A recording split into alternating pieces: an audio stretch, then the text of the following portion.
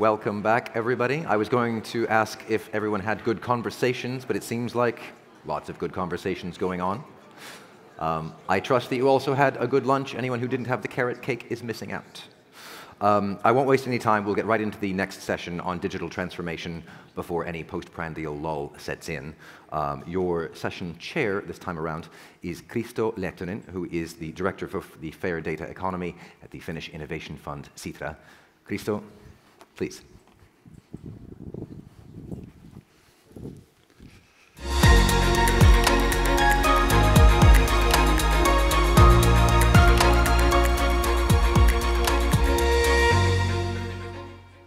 Thank you, Jason. Great to be with you here today. We have an exciting lineup of speakers coming up on digital uh, transformation. Our first speaker is Mr. Nishant Batra.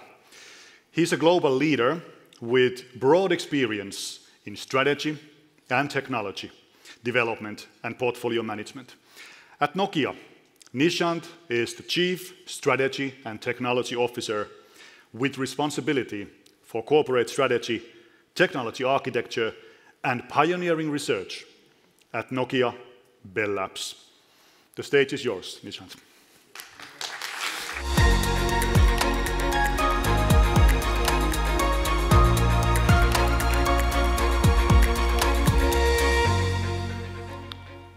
Good afternoon, everyone. I think we're going to get into a panel shortly, but uh, we're going to kick off. And I felt what would be a good speech be without slides? So it's always good to have a few slides. so we're going we're gonna walk through something. At Nokia, actually last year, we started putting together what we now call as the tech vision for 2030. We started looking at what the world of 2030 would be in terms of how we as users are evolving, how the world, in terms of its geopolitical evolution, will be, and what impact would that be on the technology that would exist in 2030. We then took a step forward and then we said, okay, how would the networks be? What would be the load on those networks? And then we brought it back to what should we do as an industry and a company to be ready for that? So I'll show you a short glimpse of that today. Let's start with some tech trends that we now are quite confident of. Cloud economy, this started a decade or more ago, but this is clearly one of the trends that we believe will dominate until 2030. And cloud economy, and we put that bubble of 5G and 6G in the middle there, and that's because in the business of connectivity, We've had now, this is our fifth generation of wireless connectivity, but our belief is that somewhere between this generation and the next generation of 6G, connectivity would also move to the cloud. Cloud will become an enabler also for how we consume connectivity. The other trend that uh, I believe we'll talk a little bit more about in the panel as well is the web, the evolution of the internet. If you go back in 1970s, there wasn't an internet around. There was some data exchange protocols. Then came the 80s and the internet came along, mostly to download stuff. And uh, it was the information economy that started to exist. Then came the 90s and the last decade. And in those decades, that information economy became a platform economy. It was to download stuff, but also to upload stuff, and a few dominant platforms came into existence. Now we're entering an era where it's not just to read and write with the internet, it's also to verify. We're entering a trustless economy.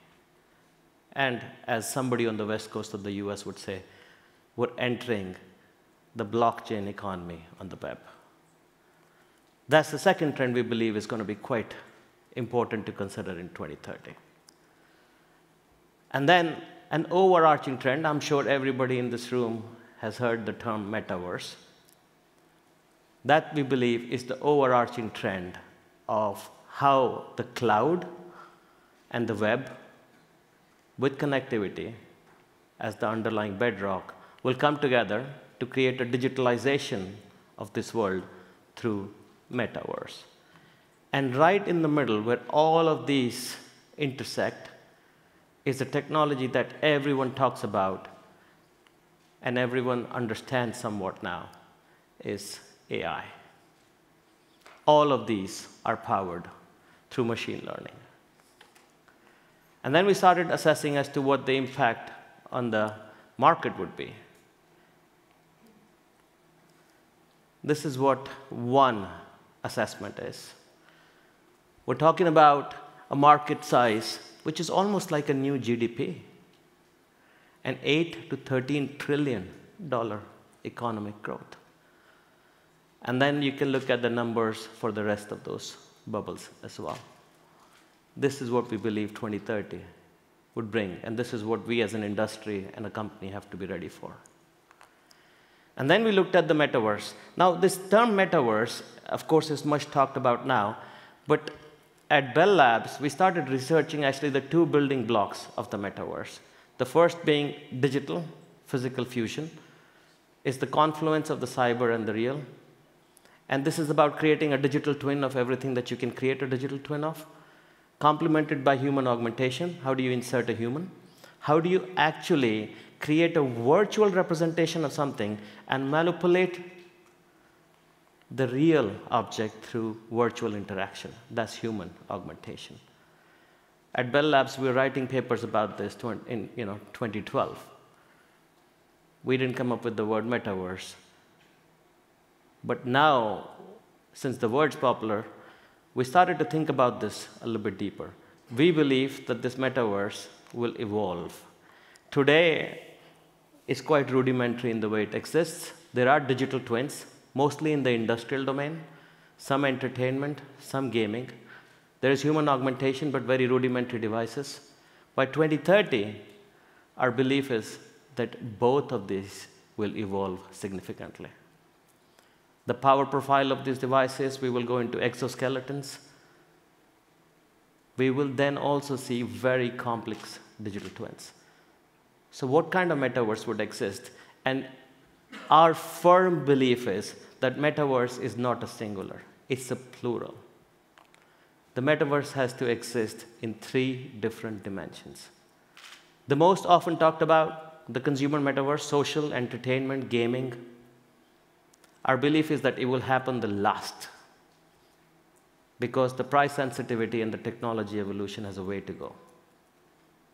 There's an enterprise metaverse, which is around collaboration, training, corporate, enterprise, IT evolution to metaverse. We are now in a live environment having this forum, but you could have basically a metaverse driven Millennium Awards.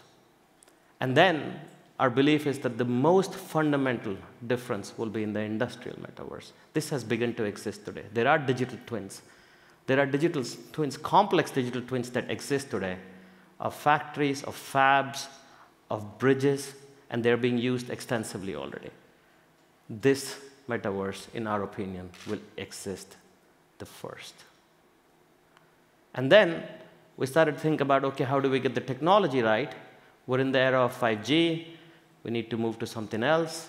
What would that be? And a brief representation of what we think the evolution of the last mile connectivity that will be required. A network ready for metaverse, what would it look like? We're now in 5G, we're moving to 5G advanced, going to 6G. And there are some characteristics which are quite understood. Of course, we will have much more throughput, latency will be better, localization will be very, very, you know, precise. Today, we know, all of us, we carry this device, and if you were to make an emergency call, the closest PSAP would know that you are in this building. The accuracy of localizing this device is about 50 square meters, and that's what we will find out. But if you're going to put this metaverse on a production floor, you need to know that that connectivity device is not in this room, but here in this centimeter in three dimensions. There will be more sensors than humans using that network. And that's what we envision with 6G. So we've already started work on 6G. I actually yesterday was at the Brooklyn 6G Summit. We kicked it off with New York University. This is a big part of what we are now trying to get ready for. And these are the six dimensions of 6G. So we figured if it's 6G, it should be six dimensions, right? Uh, it's driven by artificial intelligence, throughput of 100 gigabits per second. It's not built for 50,000 devices per square kilometer. It's built for 10 million sensing devices per square kilometer. It's not built for microsecond latency. It's built for nanosecond latency. It's quantum safe. This is what the world will need for a true pervasive metaverse to exist. And with that note,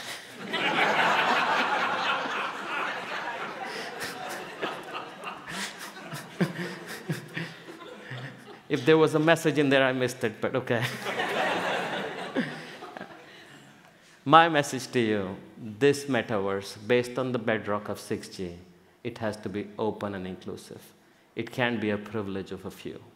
We would have failed at our jobs if that's the case. This metaverse is open and invitational for everyone and is built not by one company, not by one industry, but collaboratively by all. Thank you.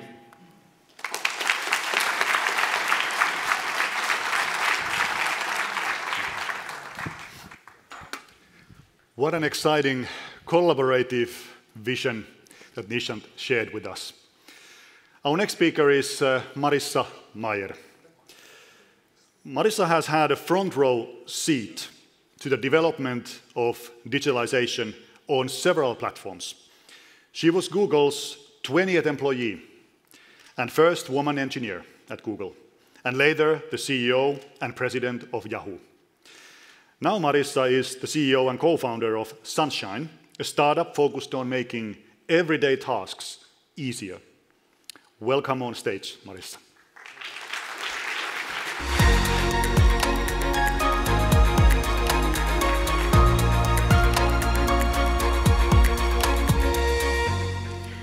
Thank you, Kristo, and thank you, Nishant, for that excellent presentation. I love that you ended on the note of something for everyone, how 6G will be for everyone. And that's what my talk is really about today. How do we build software platforms and technology platforms for everyone? And in the spirit of the Millennium Prizes, really thinking about how do platforms touch humanity? Since platforms tend to be an overused word, I thought I would start with a definition.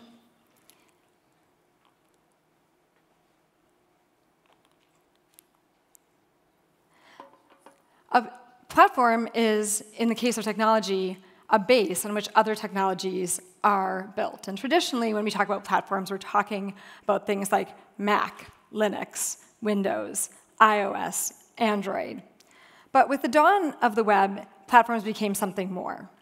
There are still groups of technology, with technology being built on top of them, but they also became tools that enabled non computer scientists, non technologists, to build a lot of things, interesting things, and create a lot of interesting things on top of them. I love that Tim Berners-Lee won the first Millennium Prize. It's very fitting because the World Wide Web really was a huge turning point in technology platforms. In the case of the web itself and web enabled platforms, the platforms are built by computer scientists but used by everyone. Hence the, talk, my, the title of my talk Platforms for the People.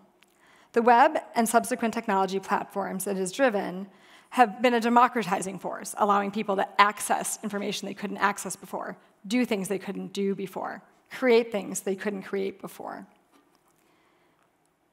Computer scientists created portals like Yahoo and HTML pages that help people access the World Wide Web. It allowed the distribution of news, sports, stocks, stock quotes, and so forth.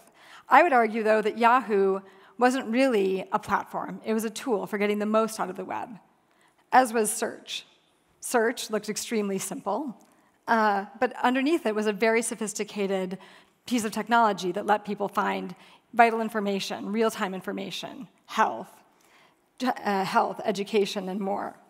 But with search, what we really saw usher in at Google is it gave rise to Google Maps and Google Earth, which, in my view, really were something new.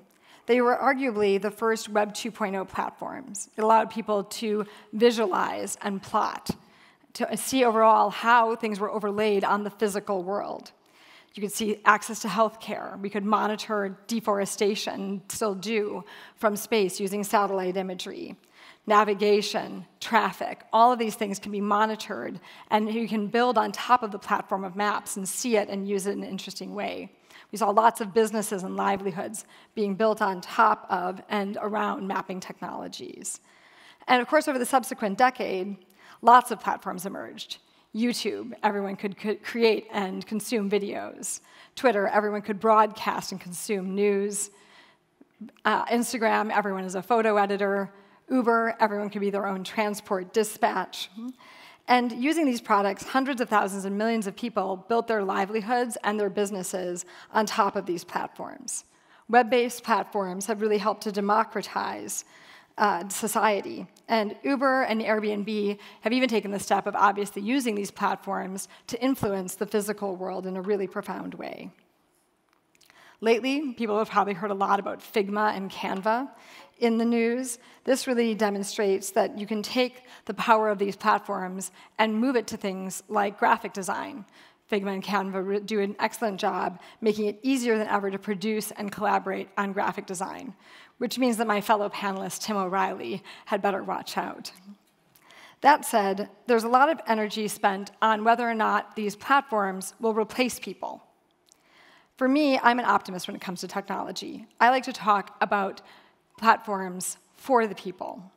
Platforms allow us to create, they allow us to educate, and they also allow us to enjoy an ease of life, uh, an everyday life. These platforms are extremely powerful. They need to be developed in a way with an eye towards how they'll be used, and they also have to be appropriately governed. Some lessons that we've learned the hard way along the way. But I wanted to spend the rest of my talk talking about artificial intelligence, which is the next generation of platforms for people.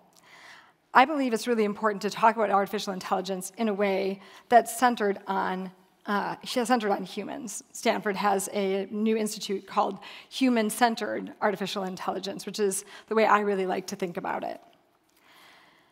We want to think about how can, these, uh, how can AI and these applications ultimately really help people, which brings me to an unusual topic of cucumbers.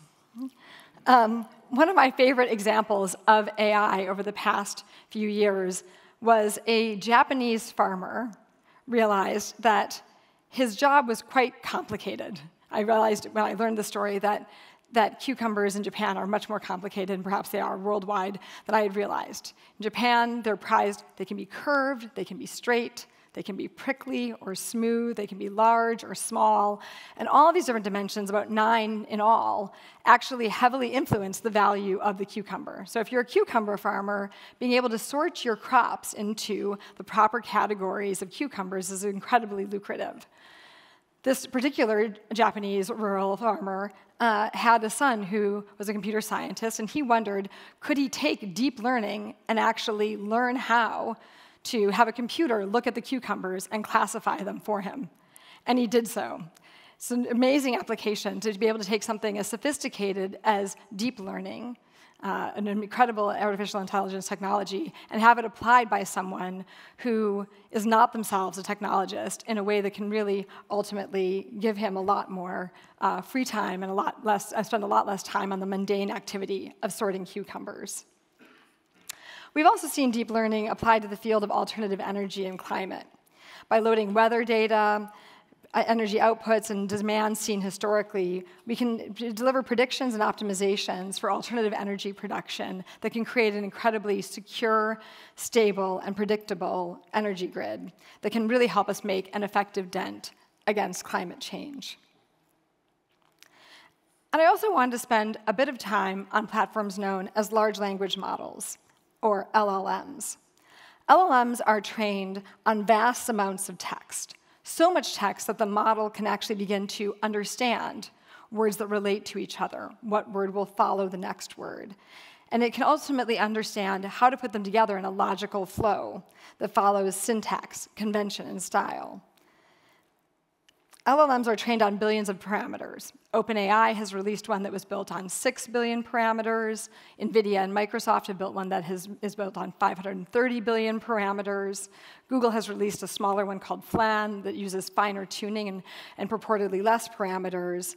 But what we'll see is overall the order of magnitude of the parameters and training data that go into these models will continue to scale. But already today, large language models are capable of writing blog posts. The Economist magazine experimented with one, fed in all of its historical articles, and could create, and the, the, the artificial intelligence could create economist style articles that sounded intelligent as if they were written by a person. It can translate back and forth uh, uh, between different languages and even write computer codes with a prompt. They can synthesize based on this training data in entirely new ways. And one fun such example of this is DALL-E.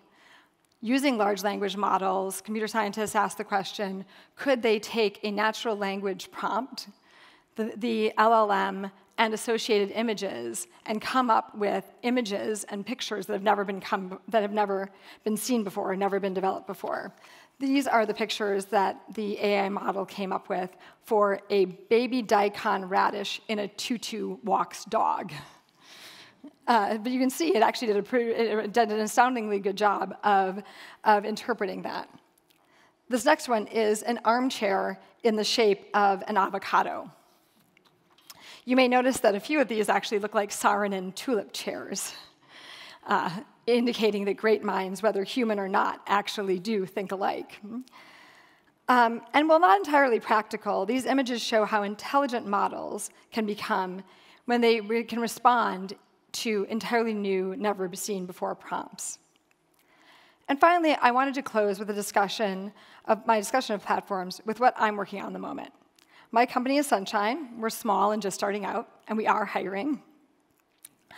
Uh, we are working in the space of personal relationship managers. Can we use heuristics and intelligence to better understand human relationships and make everything from contacts to scheduling and communication easier? Companies, of course, use CRMs, customer relationship managers, giant database with intelligence like deep learning and, and, large language models applied on top of them to understand their interactions between customers and the behavior patterns of those customers. Sunshine aims to do the same for personal relationships by allowing computers to understand who we know, how we know them, who we spend time with. We can create a platform that allows people to spend less time on the mundane and more time on the meaningful. In the face of these incredible platforms and their capabilities, the possibilities are endless. With visualization, synthesis of information, and creation all being enabled in new and never seen before ways, these future platforms will allow us to spend our time more meaningfully and less mundanely. And when we achieve that, we truly will have achieved platforms for the people. Thank you.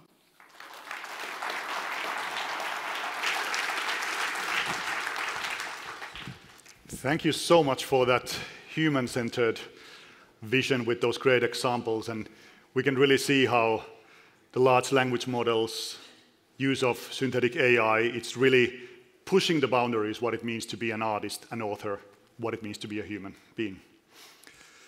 Our next speaker is Christo Grozev.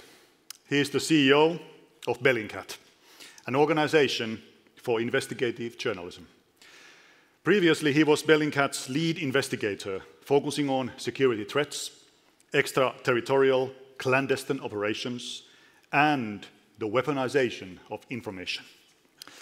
Christo has been involved in investigations on several major incidents, such as the Novichok poisonings and the nerve agent poisoning of Alexei Navalny. Most recently, Christo authored a report on Russia's clandestine cruise missile strikes in Ukraine. Christo, welcome on stage.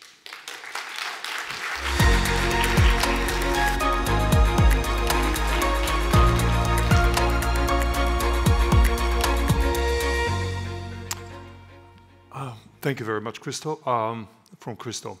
The topic today that I would like to briefly talk about um, is not as technological as the two ones that we just heard, but it still um, is on the crux of the interconnection between society and technology. But I'll talk about the danger of what we've observed in an autocratic, modern autocratic society that we've investigated over the last seven years that has been using and abusing and taking advantage of, of data um, in a way where this society actually has become even more advanced in some data access for, for the people than other liberal societies. And this is the society of, of uh, the Russian Federation. Um, imagine living in a society where the local version of the things that you take for granted in the internet, the Google, uh, the Google Maps, the, the Facebooks, the, uh, the Twitter, are all of better quality than the originals. Yeah? Imagine that your speed of communication, of connection to the internet is three times the average speed that you're used to. Imagine that the mobile services of mobile phones are actually even better. They have better coverage throughout the country and better services than the ones that you're used to. And imagine living in a large society where there's enough content and enough network um, externality for you to be happy with what you're getting uh, culture-wise, content-wise, and communication-wise, uh, even if you don't have to cross into the original Googles and the original Facebooks. Um, would you trade that for one quirk, which is that all of this is owned essentially by one company, and this company is controlled by the government. And this company, or these companies, have a gateway in real time sharing the data with the FSB, the security service. So would you or not? Well, the answer from the Russian side that we saw is that yes, people were willing to trade that extreme convenience and quality of, uh, of, of, of, living in the digital world for privacy, for like they were willing to give away their privacy, even though they were aware of that. Um, they took, they took the convenience of the online world, they took an e-government, which was very, very well structured and very convenient. You have a single point of, uh, of entry into e-government where you can from paying your taxes, you can also order taxes and you can uh, do everything in between. You can get your fines and, and, uh, and see uh, where you, you were speeding and you can get a discount for your, uh, for your tax down payment. So it was a very, very convenient society. But people were willing to trade that for privacy. And um, that seemed very sustainable. And it was sustainable because the Russian regime the, is, is, in fact, or was until the war started, a typical example of a modern autocracy. Uh, it had realized that you have to give people what they want. And essentially, you give them the metaverse, yes? And you put them there and you allow them to live freely in there. You also need to understand that people need certain freedoms. They need the freedom to, of, to, to express themselves. But what the Russian autocratic regime had figured out over years of offline management of society was that you don't need to be completely repressive in the freedom of information and freedom of speech in order for you to achieve stability and sustainability of your autocratic regime. You just need to bubbleize society. You need to make sure that people live and communicate with their, within their own bubbles.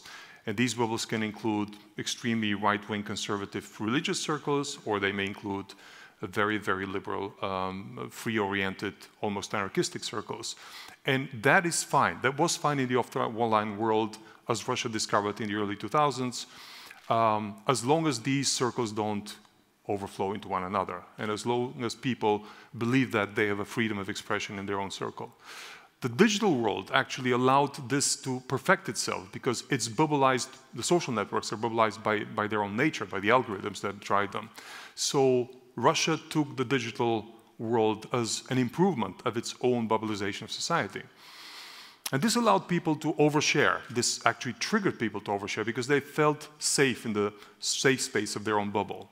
Uh, they listened to liberal radio stations and they talked to liberal friends, liberal verbal uh, bubble, and they felt safe. And the government never jumped in to interact to, to stop that until they felt that there's some leakage between bubbles and that the liberal one could impact the one of the grandmothers watching television at home and getting the state propaganda. So this seemed sustainable. But what happened? Why did it not continue? Because it did not. Um, well, part of what happened was citizen journalism and journalistic investigations, which took advantage of the same digital vast data system infrastructure that the government had created to monitor their own society. The government wanted centralized data sets. They got them, they had them.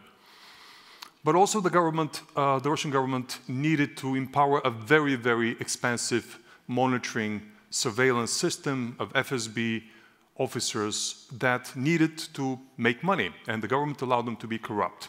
That was an ingredient of an autocratic system. They had to allow corruption the security services. And that corruption led to leakage of information to the market, and that leakage was used by journalists. And Russian journalists, Bellingcat was not the first one that took advantage of that. Russian journalists have been using that market of leaky data from state databases for years before we noticed it and took advantage of it. But this allows uh, essentially the same tools to be used by investigative journalists and to expose government crime, to expose uh, government uh, shocking secrets, which causes leaks of information from one bubble to another. And this is what made the whole system insustainable, non-sustainable. Um, how does this work? Well, in a society that is driven to, um, to ask to people to, to overshare, everybody overshares, right?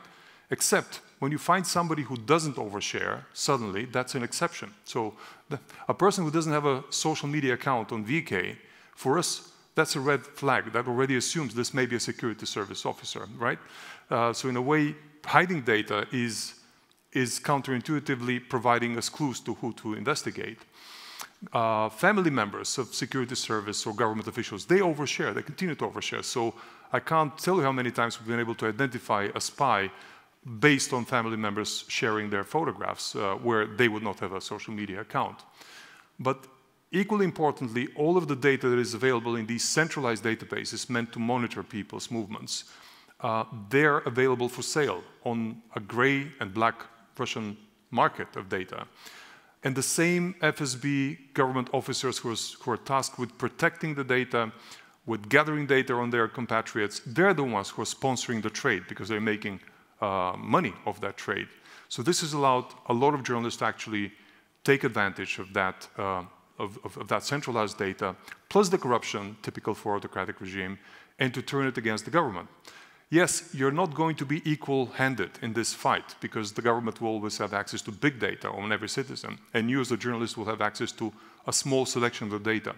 But then again, the bad actors are very few compared to the rest of society. So all we have to do is to create enough explosive content to cause this leakage of, uh, of uh, information, of shocking findings from one bubble to another. And when that happens, the government, the autocratic government, falls out of balance and they start doing crazy things. And some, in a more normal society, this may lead to a resignation. In a less normal society, this may lead to starting a war. But in any case, um, a war is not sustainable, and uh, an autocratic regime that would have stuck to that balance would have been sustainable for 20 or 30 more years. So, in any case, um, this this uh, digitalization and mobilization of society can be used and should be used by citizens and journalists to actually turn the table against the government of autocrats. So that's what I wanted to convey to you. Thanks.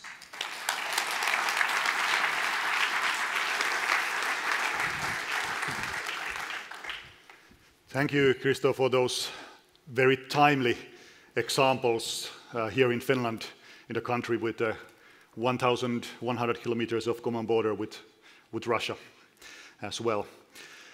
Our final speaker of the session is Tim O'Reilly. Tim has a history of convening conversations that reshape the computer industry.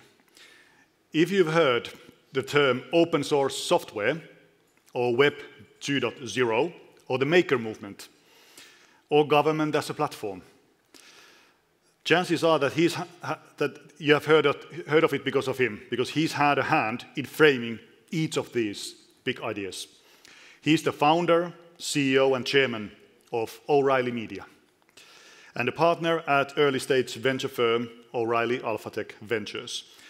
Today, Tim will be joining us by video.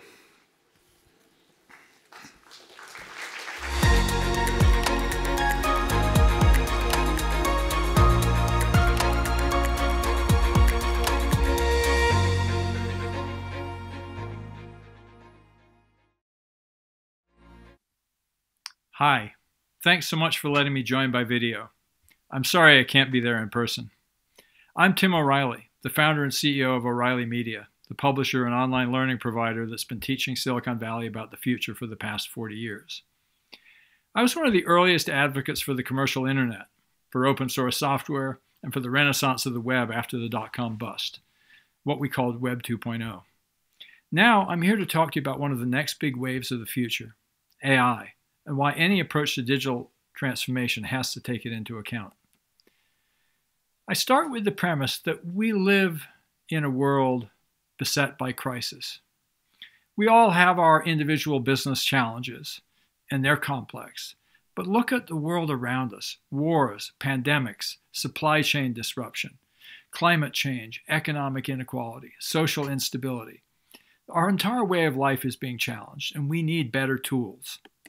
So all of these crises are related. They're what economic historian Adam Tooze calls a polycrisis. The problems are huge, but the new tools we have actually let us deal with complexity in new ways. JCR Licklider, the uh, uh, DARPA program manager who originally funded the internet, uh, wrote a paper back in 1960 uh, in which he talked about what he called human machine symbiosis. He said, The hope is that in not too many years, human brains and computing machines will be coupled together very tightly, and the resulting partnership will think as no human brain has ever thought and process data in a way not approached by the information handling machines we know today. I think this is a fabulous uh, way of explaining what AI actually turned out to be as opposed to this sort of independent machine intelligence what we're building today are tools for harnessing the collective intelligence of humans. You know, Google is a great example. It gathers content created by billions of human, humans. It uses hundreds of signals, many of them generated by humans. Like, what did they uh, point to when they linked to this other document? What words did they use? Uh, and it uses these signals to find the needle in the haystack 8.5 billion times every day and it uses implicit feedback from its users to reflexively shape its best, its, its, its sense of the best answers, right? In other words, it learns constantly from the people who use it. That's what I mean by harnessing collective intelligence and why you can think of these systems as a hybrid of human and AI, or a hybrid of human and machine. Facebook, Amazon, and perhaps most importantly, our financial markets are cut from the same cloth. The invisible hand of the market has been made digital and it's increasingly under private control. And that's why I think the fact that our governments are also such a system, just centuries old and out of date, is such a problem. Our tax policy, our laws, and our regulations shape the economy in much the same way as the algorithmic systems at Google, Amazon, and Facebook shape their marketplaces. What we call the market is a designed artifact, not a natural phenomenon. You know, why is homeownership the rule in the US but not in Germany? Tax policy. Why are cars in Europe smaller than the US? Taxes again. Why is housing scarce in many US markets? Local building codes. Uh, the examples are legion. I talk about this in my 2016 book, WTF What's the Future and Why It's Up to Us. The imperative for our systems of collective decision making to get as good as the systems that we're building in the private sector. Because algorithmic interventions can spur innovation. Look at the declining cost of solar. Yes, there's been enormous innovation from the private sector, but government funding, incentives, and direction have built that market. The problem is that one off interventions can have unexpected consequences for the polycrisis. For example, quantitative easing, the fix for the 2008 2009 financial crisis, led to an unsustainable asset boom. Flooding consumers with cash to keep the economy afloat during the pandemic contributed to an inflationary surge response to the Russian invasion of Ukraine led to a hardening of relations between the US and China, reshoring of critical industries, and acceleration of the renewable energy transition. Everything's interconnected. And that's where AI comes in. Paul Cohen, who used to be the AI program manager for DARPA, is now a professor of computer science at the University of Pittsburgh, said something wonderful. The opportunity for AI is to help humans model and manage complex interacting systems. That's its, its real superpower. Uh, and you really have to understand that these systems are trained. Uh, and we're moving from a system where programmers will effectively try to come up with a set of rules. And maybe they'll give users lots of knobs and levers to tweak to a system that you simply show tens of thousands of examples of what you think good looks like, whether it's like this is a dog, this is a car, or whether it's something more profound. Uh, you know, what is the objective of this system? And they can learn to recognize the patterns and act on them. And I've had a very direct experience of this as we developed a machine learning based search engine for the O'Reilly online learning platform. You know, finding the right answer to a user query, you know, when they're looking for a needle in a haystack from tens of thousands of books and video training courses, it's quite a complex problem. Our old search engine required constant tuning, and every adjustment seemed to throw something else out of kilter. Now, using a process uh, of machine learning, we train our search engine holistically rather than trying to adjust the knobs and levers individually. Our users can now ask questions in plain language and be taken right to the answer. Uh, in, in a bigger context, uh, the Institute for Computational Sustainability at uh, Cornell University has done some amazing work with, uh, for example, with the Brazilian power authorities. Uh, rather than just uh, deciding where to site dams on the Amazon for purely economic reasons. They're taking into account not just power generation and money, but also fish diversity, impact on local people, sediment, and greenhouse gas emissions. They've done similar work on coordinating the release of water into California rice paddies with the migrations of waterfowl. And it turns out it's a win win for both farmers and the waterfowl. Of course, there's a lot to learn. You know, using cutting edge tools, big tech companies have spread misinformation, hate speech, and divisiveness. They've encouraged addictive behavior and even violence. And so there's a lot of fear and uncertainty about tur- turning over decision making to machines. But it's still very early. I like to remind people of the history of powered flight. In the early days of commercial uh, uh, aviation, crashes were frequent. Antoine de Saint Exupéry, the author of The Little Prince, was one of those pioneering aviators. He carried the mail and other urgent cargo. And his autobiography tells the tale of pilot friend after friend who set off boldly, never to return. He himself was lost somewhere out over the ocean. Yet today, commercial airlines are the safest form of transportation due to rigorous oversight and safety procedures. We need something like that for AI, but it can be done. The other thing to recognize is that AI is a mirror, not a master. When we train these systems, we feed it data from what humans do and what humans have done. And if we don't like the results, if we say those results are biased, what it is showing us is the bias in our own behavior. And so we have to seize the opportunity to look in the mirror. And if we don't like what we see, we need to change it. We can't just blame the machine. And a good example of this is uh, in the bad behavior of these companies. Our government designed markets provide the master algorithm, shareholder value. It directs companies to constantly increase their profits and their share price. And this corrupts even companies that aspire to do good. So think about Google. You know, they used to have the slogan, don't be evil. Yet the, their former head of advertising, Sridhar Ramaswamy, who ran their $115 $115 billion ad business recently quit, started a new company to compete with them, saying the relentless pressure to maintain Google's growth has come at heavy cost to the company's users. Useful search results were pushed down the page to squeeze in more advertisements, and privacy is sacrificed for online tracking tools to keep tabs on what ads people are seeing. So, we are all living and working inside these vast network machines that control our world today. And it's a useful metaphor to think about that. We're living and working inside a machine, and that machine is poorly understood and poorly governed, and we have to get good at it. So, right now, these vast interconnected electronic systems are guided by algorithms that form a kind of private regulatory system, which too often rewards its owners rather than considering the public interest.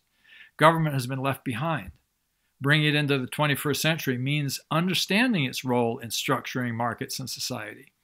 It also means understanding and embracing these cutting edge tools that we now have for better managing complexity. Uh, you know, we can make a lot of progress by adopting 21st century best practices. You know, we first have to start by clarifying our goals, but then we have to focus on whether those goals are being met. We have to focus on outcomes, not compliance with rules. Policy shouldn't consist of untested assumptions. It should be what uh, in tech we call a build, measure, learn cycle. That is, we try something. If it works, we do more of it. If it stops working, if it doesn't work, we do less of it.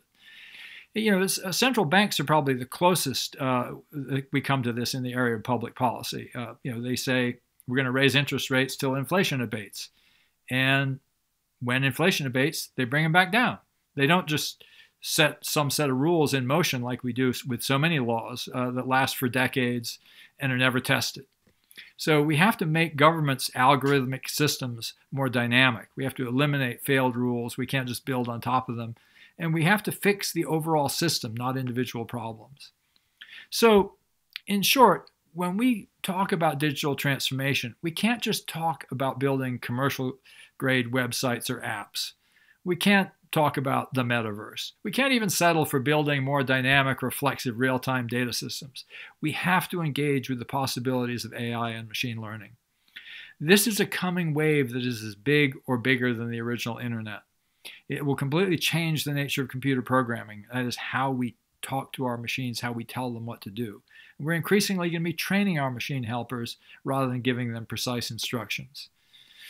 So we need to bring the scale and algorithmic reflexivity of tech to government, but we also have to bring public values to tech. Most importantly, if we want a better future, we have to do more than teach our machines to re- recognize patterns or just to reach our business goals. We have to teach them what good looks like. They won't discover it on their own. Thank you very much.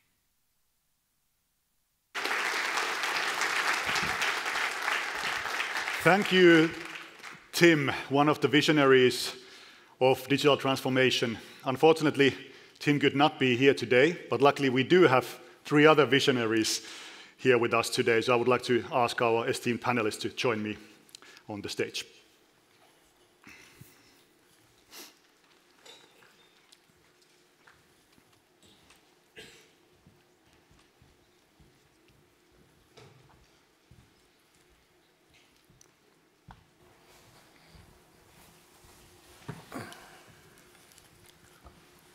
So we will start with the big picture view of the benefits and risks for society uh, related to digital transformation. Um, data economy constitutes one of the biggest technological and economic transformations in the past 100 years. Some have compared its impact to electricity or steam engine. Data is the most important raw material of our times. At the same time, there are concerns such as polarization of public discourse, ethical use of artificial intelligence that was also touched upon by the speakers, or the ever increasing energy use of information and communication devices and networks. Nishant, what are the biggest benefits and risks for society from digitalization and data economy as we move towards 2030, in your opinion? I think let me start by talking about the opportunities because I think they somewhat outweigh the risks in that sense. If we look at, let's look at the concept of digitalization. What is digitalization? Is using data for the purpose of possibly finding productivity, efficiency, or security. At Bell Labs, actually, we did a study. It's a little bit dated, but the stats are still quite relevant that if you look at the world GDP, and then you say 30% of the industries have been quite well digitalized. That's where they spend, these 30% of the companies or industries spend 70% of the digitalization investment. The 70% of the GDP, these industries are not well digitalized. And they spend a little, far too little. And our belief is that based on the data economy that you just talked about, over the rest of this decade, the law of inversion will prove out. That means the 70% that are not digitalized or not sophisticated in their digitalization will invest now. And these industries are transport, manufacturing, mining, etc. These are physical industries. They will spend and invest on digitalization in the subsequent years of this decade. And that's where the law of inversion will prove out that 70% more investment. Our belief is that this will create north of 8 trillion of global economic value. So that's the benefit. Productivity, efficiency, and security in this industry. Uh, we've talked a little bit today already around sustainability. Our other firm belief is that there is no green without digital. You need to find opportunities of how do you use this process of digitalization to create more ecological benefits. In fact, there was a study by Accenture that said in the US, over the rest of this uh, three years until 25, 20% of environmental benefits will come on the back of digitalization and 5G. So digitalization productivity for productivity, efficiency, and safety combined with green is what the opportunity is. This is where I actually see the opportunity, both from economic growth perspective and for the right thing for our planet. The risks two risks that come to mind here, Kristo. One, I talked about this a little bit, you were mentioning in your speech. This opportunity of digitalization cannot be for a few privileged. It can be, I mean, if you look at the big platforms today, how do platforms exist and what makes them big? Is the access to data and their capability to train that data, refresh that data, and use that data. It's a continuous process. Every big platform is very successful at doing that. But that cannot be an opportunity for just a few. When we digitalize now manufacturing, it can be that manufacturing in Africa is not considered to be part of a digital journey. So inclusive growth based on digitalization is an important criteria to be kept in mind. The other one that you probably mentioned to about bit, the threat surface and the threat vectors grow. When we digitalize, everything starts to get connected. If you have sensors in a factory, suddenly a physical location became a digital location. The threat surface grew, and that becomes a second risk that we need to cater for. Thank you, Nishan. Marissa, you have personally witnessed in global key roles the emergence of digital platforms that you also talked about as shapers of society. Some people call this phase Web 2.0. Looking back, what are the biggest lessons learned for societies in your experience from the role of platforms as drivers of digitalization? Uh, I think there's a lot of lessons, but I think the one that I would really call out is just how quickly uh, things can grow and things can change. Um, you know, when I think back on my childhood, I remember watching, uh, I don't know if it was popular here in Finland, but the cartoon The Jetsons, which was portrayed a science fiction future where everyone flew around. And I remember thinking when I was about five years old, like, wow, when the future's here, it'll be amazing because there'll be flying cars, right? And if you actually look at that, not much happened. Um, we don't have flying cars today. There are people who still experiment with it. But what did happen instead was the internet um, the connectivity, the digitalization that's happened. And so, you know, I think the lessons I've seen are it's, it's easy to uh, overestimate the short term and underestimate the long term uh, how quickly things can, can happen and change. I first came to Finland in 1999, right after I had started at Google, and I remember walking into an internet cafe. Do people remember those? They don't exist anymore, uh, thanks to, to so many wonderful networks. But, and seeing this little website I was working on with a few dozen of my friends here in Finland, and I was like, how did it get here so quickly? Um, yesterday, I have some Finnish relatives who were kind enough to organize a tour of a school. And I remember kind of being blown away. You know, the pandemic made it very popular, but seeing Google Classroom used here to see how these platforms have moved and changed, moved into new industries, and you know, in just a few short decades, have really become a, a, a standard tool in you know, classrooms all around the world. And so when you think about what can happen in terms of the connectedness we all feel today, the platforms, the compute power that we have, uh, how quickly things can, can change. And that has both opportunities, because it means that things can become very popular, very powerful, very quickly. Uh, and it also means that we need to be prepared to react really, really quickly um, when we think about uh, you know, some of the laws, for example, in the United States, are just not suitable for today's technology. There's a big question around who's responsible for the content. Uh, and it turns out the laws that govern, that govern carriers and content um, are you know, probably a, more, almost 100 years old.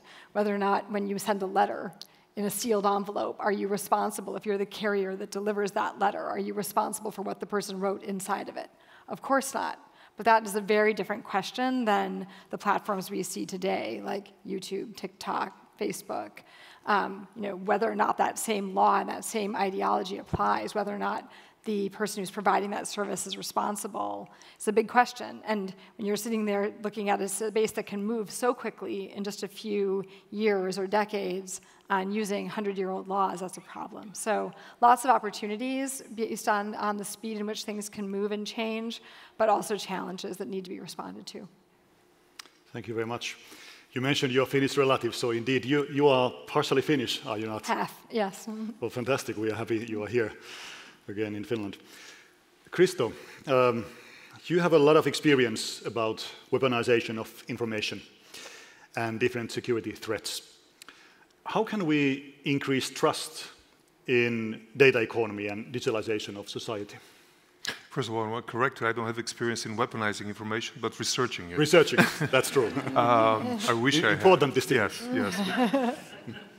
um, well, first, I, I, think it's important to be aware of the threats um, and to train that part of the population that chooses passively or actively to not be aware of the threats. I think this is the key, uh, the key hurdle before we can regain trust in digital, uh, in digital society. The um, the problem is that many of the, especially younger people, um, are doing the same trade-off, accept the same trade-off that I described with the Russian society vis-a-vis -vis their privacy, uh, as long as they get the, the fast, Im immediate, imminent convenience of being able to access the digital world. Um, I was lecturing a couple of years ago young people in uh, Vienna Economic University, and I, I, did a survey at the end of the, the lecture and I asked them how concerned they were about oversharing private data in the context of receiving services. And predominantly, the answer was that they are not concerned, that they didn't care what Google does with their private data, what Facebook does with their private data. And uh, yes, you might believe them and give them benefit of doubt they don't care now, but they will most likely care in 20 years. So it's somebody else's obligation to kind of uh, bring the risk of the future abuse of that data to, to their current self. So I think there's more that needs to be done there. But this goes hand in hand with the rather formal approach we've taken as a society and as a European Union and, and uh, everybody in terms of um, protecting people from the unexpected danger of oversharing. So the cookies disclaimer that we all get, that we all have to accept, that has become almost a, uh, a, nuisance, an annoying factor for the user, even though this is done to defend the user's interest, but they see it as something that they have to just click away in order to get to the content that they so desire at this very moment. Uh, so it's actually counterintuitively what, what society has tried to do to help people is backfiring because people are, are seeing the cookie disclaimers now as noise, as something that has to be gotten away of as soon as possible. So, uh, but if these people were given not the opportunity, because the opportunity legally exists now, but were uh, almost confronted with what happens with these cookies, with the information that is being gathered for them. So imagine that uh, you consent to cookies, and then by law or by best practices, in a month, the same website that you consented to give, uh, you, to give cookies to was obligated to do another pop-up and say, click here to find out what, what we know about you now. I think if you proactively do that, a lot of people will realize for the first time what they're sharing. Now you have the opportunity to go and find the hidden place where Facebook will tell you what they know about you. And it's scary, but who does that? Nobody. But if we make it so that people are proactively told, check this out, then I think this changes the whole, uh, the whole attitude. And last, um, I would like to talk also about the loss of trust in uh, visual information because of deepfakes and generally of the ability to create um, any kind of information. I was um, having an argument with my editors a couple of months ago when we were doing an identification of a war crime and a war criminal, and we had a very thorough uh, group of evidence, piece of evidence that pointed to this person being the, war, the criminal in that particular incident. But we didn't have a clear face of this person because he was looking away. Uh, so we couldn't compare him to the known face of uh, the person, that uh, the identity that we knew. And the editors said, well, we can't call the name the name because we don't have a visual. But we had 150 other data points that proved to that.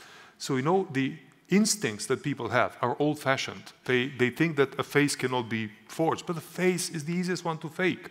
So I think one thing we need to change is for a more holistic view to information as opposed to instinctive use of information and believing something that, uh, so seeing something and believing it is the old-fashioned way. We have to look at information holistically, which means um, retraining or training people for critical thinking so that they just don't accept something that looks the right way. So I think um, I think the generation that um, has grown up with the internet and with, uh, with data as uh, something available at their fingertips, we need for them to go through a full life cycle before we realize all of the dangers that they're exposed to. So we, some things we can predict now and start addressing them, like the ones I, did, I mentioned, but others we still have to wait another 10 years. Thank you very much. This next question, anybody can answer it. Um, I'd like to talk about digital sovereignty, which is a topic that is much talked about in the EU as of late. Digital sovereignty has been defined as means of promoting strategic autonomy and the ability to act independently in the digital field. It can be seen as a protective mechanism as well as means to foster digital uh, homegrown innovation. Can EU or any economic area achieve digital sovereignty? Or are we simply too interdependent? In other words, is digital sovereignty a worthwhile political goal, in your opinion? I'll start very quickly by yep. saying I'm allergic to the concept of digital sovereignty mm-hmm. because mm -hmm. it is the easiest way for autocratic governments to abuse it and say we want to essentially firewall protect our population from freedom of, uh, of information and freedom of information flow. And because digital sovereignty is not something that happens naturally uh, within the commercial world, uh, nobody's going to self-impose digital sovereignty um, unless they are a government. I'm afraid that it becomes too much power given to government. So that's my instinctive reaction here. Interesting. Anybody else want to have a shot at this? I think it's topical today digital sovereignty is not just a term that's used for in European context, it's used in now quite global context now.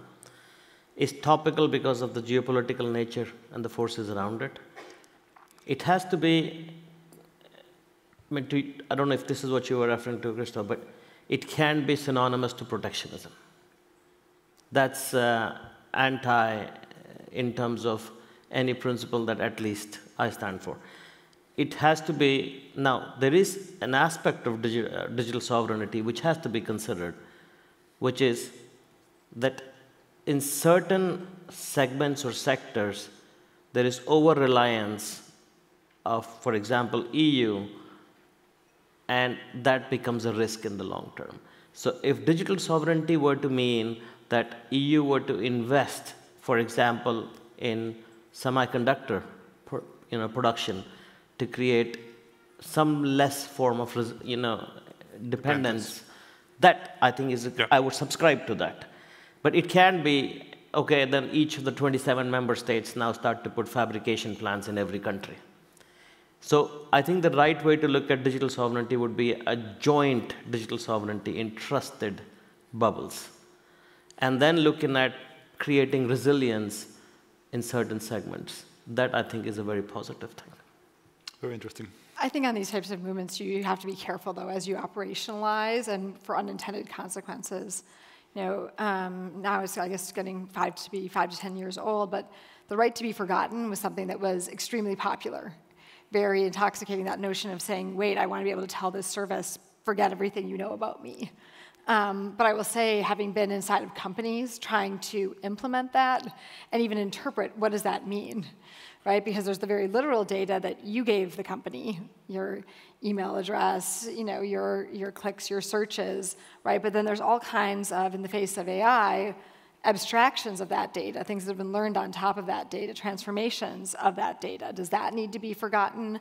How exactly does it work? And so I think that, you know, um, I think that a lot of companies came up with good ways to achieve the right to be forgotten.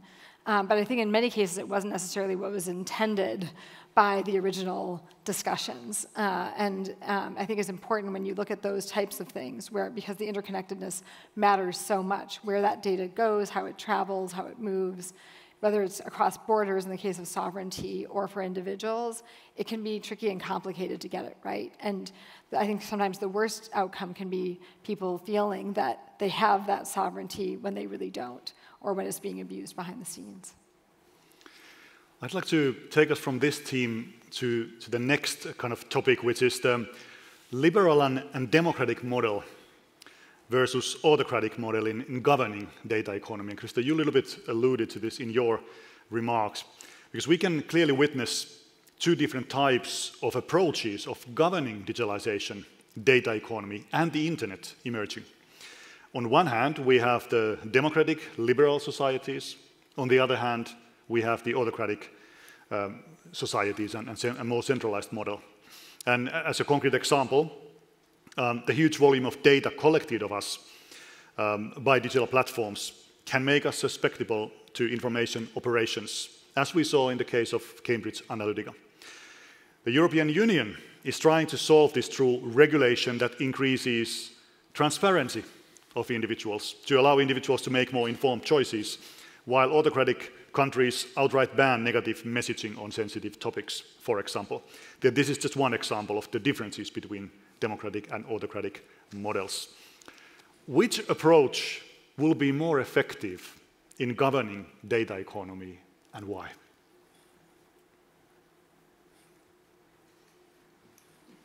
Christo, you want to start because you, you brought it up in your opening. I, I did. Um, I'll just expand on what I believe, um, which is um, you, you, you, gave two extreme examples. Um, one is the, let's say, the European one, and the other one is the Chinese one, the prohibition of negative messaging. But I don't think these are the realistic threats to our part of the world or to the uh, liberal democracy part of the world. The realistic threat comes from the Russian model, which the previous Russian model, which was allowing negative messaging, but knowing, being aware that the way the internet works, it will remain enclosed in a bubble and it will not cause the rest of the people, the majority of the people, to find out the truth uh, or to experience the uh, sort of negative messaging. And I think this is what Cambridge Analytica actually helped bad actors in the real liberal democracies to perfect and to borrow from these from these uh, um, modern or advanced autocrats. And I, I, really think that's where the risk is because countries in Central Eastern Europe, some of them, like two or three countries, are still using that same approach that um, that uh, let's say uh, certain people in in the, U.S. try to abuse, um, and this is this is a risk that that continues because invisibly this can this can create divisions in society. This can create society that requires an arbiter to be there to help them uh, solve these divisions, and this is a recipe for um, soft dictatorship, and that's that's where the risk is from my perspective. Let me a little bit move this discussion onwards because um, as a result of this competition between these two models, we've witnessed today a real threat of fragmentation of internet as well. What should be done to avoid this? I can comment on that one. Um, I'm very glad you took the first question. because I'm so far away from political science. But I think the internet if you look at it's one of the most uh, i mean it's it's the fact that internet the way it exists across the world in a, in a harmonious way is, is, is it needs to continue now if we look at the way we access internet all of us we either access internet today using our mobile devices over wireless infrastructure, or we access internets at home or office, and that's based on fixed infrastructure. The problem of this fragmentation, it starts to manifest itself into when the wireless industry starts to fragment. Let's take uh, you know, a short trip down. Uh, we're now, like I said in my speech, we're in the world of 5G. If you go back 15 years, there was a technology called 3G. I think most of the people, most people in the room would remember. 3G was different the way it was implemented in Europe. It was different in the way it was implemented in US and a complete island in China. What that does is, is the cost per unit of connectivity goes up tremendously. And everyone loses. Then came 4G, LTE. Every country came together and said, we need to build one standard for wireless infrastructure. Otherwise, the cost is not getting the right inclusion. And when LTE came along, whether it was Japan, whether it was Korea, US, Europe, Russia, China, everyone agreed on one common standard for the world. And that was when we saw a true impetus to what we now call as mobile broadband. One of the most successful turns in the wireless industry came with one standard in 4G. We've continued that with 5G, and our intent and our focus should be that in 6G, the world should be on one harmonious standard. And it's the same for fixed infrastructure. Fixed infrastructure is not standardized. Fixed infrastructure is built on principles that come out of the ITU. And we can't let some of this political fractionism impact. I'll, I'll give you a very, you know how many uh, people in this world are not connected even today? Almost 3 billion people on this earth don't have sufficient mobile broadband. And if you fragment these standards and political fractionism come in, this will get worse, and we cannot allow that to happen. The World Economic Forum, it did a study that uh, in uh, lower income countries, when connectivity for mobile broadband or broad, any form of broadband goes up 10%, the GDP gets a 2% uplift. So we need to make sure that the political fractionism doesn't enter, you know, enter the technology and telecommunication domains. That's my firm view. Thank you very um, much. I, may take this in a little bit of a controversial place, way, yep. but and trying to tie the last two questions together, I would make the statement that I think if you move from data to technologies and the way technologies are governed and guided, the internet is already fragmented, at least in terms of its applications. You know, in the West, we have Google and Amazon and Facebook. In China, they have Baidu, which is every bit as good as Google. They have Alibaba, which is as amazing as Amazon. They have WeChat, which is you know a technology that kind of combines all the different shopping and social network technologies together in a way that hasn't really been able to be replicated in the West. And so I think in many ways there already are, are, are, sort of two different forms of the internet, and we're starting to see what happens in, in when you govern um, these technologies differently. And I think the, the real question in my mind is what happens with artificial intelligence. Because I think it's very clear that the real race and, and, and way that the governance of these technologies will ultimately be measured is between the West and China. Uh, and they take the two very different approaches to AI.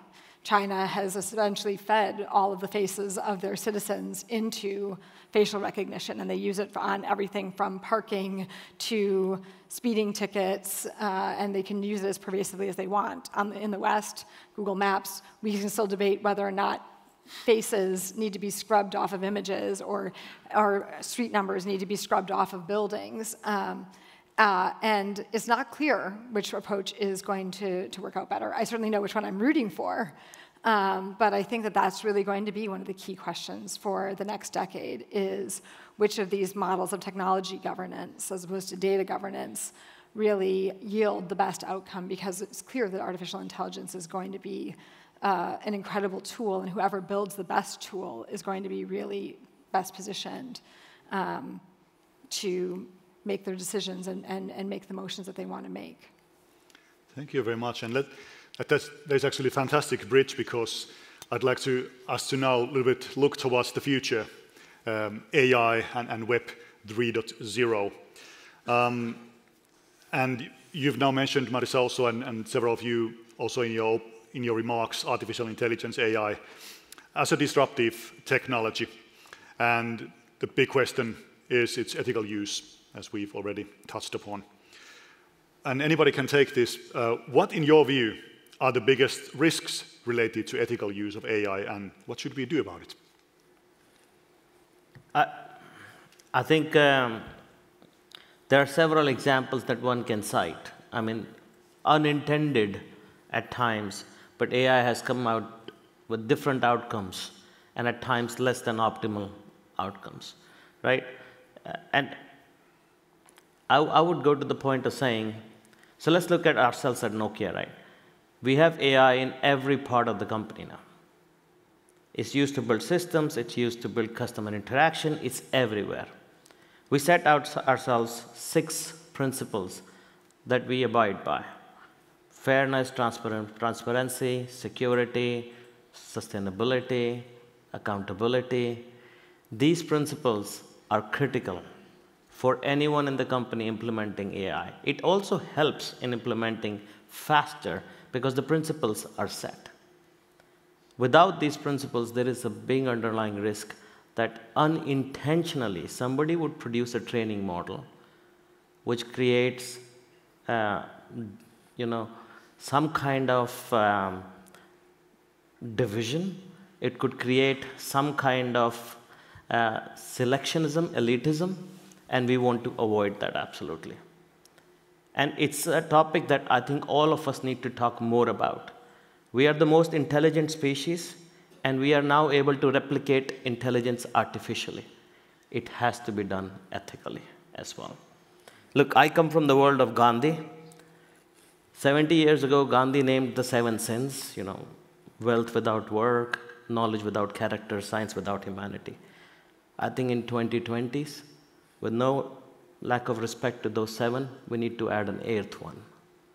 There should not be no AI without ethics in this world. Fantastic. Thank you very much. It's a great perspective. Anybody else want to? Absolutely.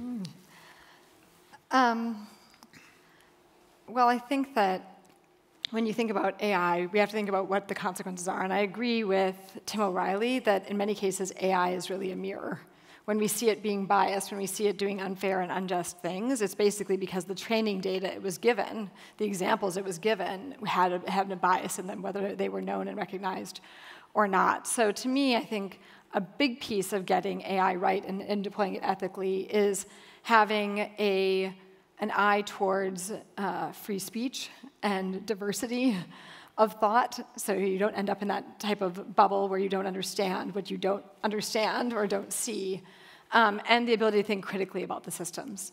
There definitely is always the, the type of technology worship of, well, this amazing piece of technology created this. Is it right? Is it wrong? Is it ethical? Is it not? And I think we need to ma maintain our ability to think critically about what's been created and, and uh, the values that it portrays. Christo, are you worried about ethics of AI? Uh, absolutely, but not only about AI, also about other aspects of the digital future. But on AI, I couldn't agree more. I think the risk is that AI, left unguided to learn from, from human behavior, uh, will pick up on outliers as the most salient uh, uh, examples of a certain vector of, uh, of thought. And those outliers are likely to result in really bad AI uh, virtual people, uh, racist, and, and so on and so forth. So I think inadvertent AI is probably as big of a risk as, as bad AI. Uh, but uh, just one other thing I want to um, caution because it's kind of a pet peeve of mine is the uh, false assumption that moving into the digital world will, um, and in particular, if, let's take the metaverse as one example of moving from uh, the offline world to the online world will reduce inequality. And um, I think that's a false assumption because if we just let the world move to, let's say, conducting business in a metaverse world, the offline world, the offline business, day to day business is potentially going to happen largely in a metaverse kind of environment. This is likely to only increase inequality because the people who get into that capability now are the people that have the free time, that have the capacity, the money to actually be there. So they'll have the first uh, mover advantage over anybody else who's poorer or less uh, poorer with time or with money. And even having a different set of devices, lower quality will disadvantage you to the ones who have a better quality. So we have to be aware that no, it's not going to happen naturally, that equality will improve in the digital world. I, I, have some, I think it's a great point, and it was sort of my conclusion that metaverse can be for one and only by one. Yeah. I think the award that was given this year at the Millennium Forum here was on solar panels, right? On the PERC technology. And that helped democratize that technology. The same has to happen with the metaverse, not just for energy consumption, energy sustainability, but metaverse, which is going to be such a fundamental change, a revolution in terms of digitalization. There needs to be enough research and tooling and process and platform that helps democratize it. Otherwise, it will not meet its potential. I'd like to briefly, if, if we could, uh, touch upon Web 3.0. And there's a little bit conceptual, um, what one could say, competition. Some people categorize metaverse under Web 3.0, some treat them separate. But um, let me define it like this, that the world is entering the age of decentralized web or Web 3.0. And Web 3.0 has emerged in part as a reaction against the problems of Web 2.0 and the market power of centralized actors, such as digital platforms.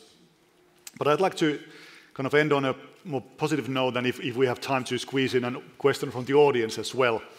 So as we look into the future of Web 3.0, decentralized web or metaverse, um, and in general digital transformation, what is the one thing that you are most excited about? Marissa? Uh, I'm, I'm excited overall about what blockchain can do. Uh, I'm excited to understand um, what it can do just to overall drive better accountability. I think that that was probably one of the key shortfalls of Web 2.0. And so, if through better understanding of where information came from, how digital goods and, and uh, monies are moving, uh, I think that that could drive a lot more accountability. And so, I, am excited about, uh, about that. Thank you. Nishant. I think uh, the fact that Web 3.0, the concept of tokenization, to your point, Marissa, it's an open ledger. It creates a level of transparency that was missing in Web 2.0. I know you wanted to end on a positive note, but I am, let's say, I'm also very cautious in my optimism here. Because the early trends that I see with Web 3.0 is that the translation engines from Web 2 to Web 3.0 are sort of becoming pseudo platforms in themselves. We can't allow that to happen. The concept of blockchain and tokenization and decentralization needs to be authentic. Otherwise, some of the pipes between two and three will create newer platforms, which is what the intent is to avoid from the beginning.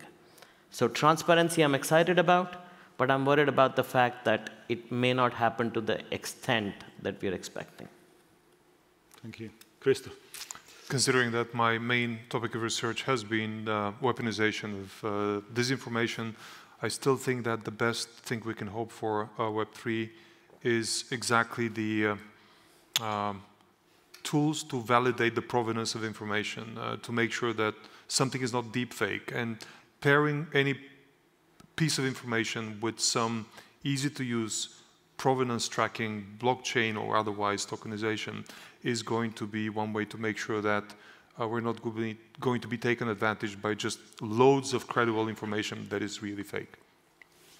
Thank you. Well, we do have time for at least one question from the audience. So I think we have a microphone over there and over there. Just raise your hand if you have a question to our panelists. There in the middle, gentleman over there. Thanks. Um, thank you for the very interesting panel session. Uh, I was wondering, this is related to the problems with AI. Uh, what about explainable AI? It's a huge field, emerging field, a lot of research, and seems to offer some solutions to many of the uh, issues you raised. So what's your take on explainable AI and its application in the future? Who would like to take this? Definitely not me. Uh, I mean, I think uh, I, so you're talking about explainable AI, yes? Yeah. So I mean, I think that it does address some elements of it. That notion that you can build a technology and ultimately move away from it very quickly. Uh, I think overall it does address some things. I think it's an emerging field, and so it it um, it has some promise. I think it's it's set to be seen does it solve uh, all of the issues that we've covered. I, I would agree. I think. Uh, the one concept that explainable AI brings is the refreshment of data. And that creates some level of democratization already. So it's said that, again, cautiously optimistic, because it hasn't proven out yet. In some of the biggest, bigger platforms, they still need very conventional CNN modes that need huge investments for training models. So we'll see if it can actually scale, yet to be proven. But it's a good step forward. I think we have time for one more question. So please raise your hand if you have a question uh, to the panelists. Uh, there at the back, at the very back. Yes, so as Nishant mentioned, uh, um, currently only 10% of the Earth's surface has internet connections, and similarly, 3 billion people do not have coverage. What do you see the role of satellites like I am familiar with uh, some of the projects from Nokia. They are working on non-terrestrial networks. So do you think like satellites can also play a role in metaverse? Uh, absolutely. So, I mean, if you just go back, I mean, it's very topical again, right? Apple announces with Globalstar, Android announces. Then we have, I mean, we announced with AST, which is funded by Vodafone and AT&T. There is um, Starlink, that announced with T-Mobile in the US, Reliance Jio, in, and then, I mean, this is, it's happening now. I am, let's say, when I am talking about the 2.9 billion who don't have substantial or let's say reasonably substantial mobile broadband, I do not believe that non-terrestrial is the way to get there. And I'll tell you why. If you are, let's say, in this room, does non-terrestrial work? No. 70% of broadband initiations happen indoor. Non-terrestrial does not work there. Non-terrestrial has a place, which is when you're out in the boonies and you need connectivity, and it's still very lean connectivity. You can send a message, you can probably make a call if you're lucky. So it's a complement to terrestrial network, but it will not be the backbone for inclusion. I don't see it happen this decade. We need to research more the satellite costs, both to launch and to operate, have to go down more. The sizes have to shrink tremendously. Even then, we will not be able to solve the indoor problem. It just doesn't work. So it's a good tool in the toolkit, but we need to think broader. Thank you very much. I want to thank the panelists for an excellent discussion. Thank the audience for great questions. And uh, and then for this uh, wonderful afternoon. Thank you very much. Thank you. Right. Thank you very much indeed to all the panelists and um, to Kristo for making a valiant attempt to have a sort of happy ending to the story. I, I must say this, this session has felt uh, less like opportunities to be seized and more like dangers to be avoided. But, um, and, and not to be too flippant about some of the things we were talking about here, but for me, that session was something of an emotional roller coaster and very informative. First of all, Marissa reminded me that my employer, The Economist, has been checking out these large language models, and sounds like you were convinced by what came out, so my job's in danger. But then, almost in the next breath, she said she's hiring. So. And also, I learned from uh, Tim O'Reilly's speech I, I, uh, a phrase I've heard a million times. I've, i guess I've had it wrong all these years. It's WTF is what's the future? Who knew? Right, who's ready for a coffee? A bunch of people are ready for a coffee. Very good. Uh, we have almost exactly half an hour for it. We will see you back here at 3.30. Thanks very much. Thank you.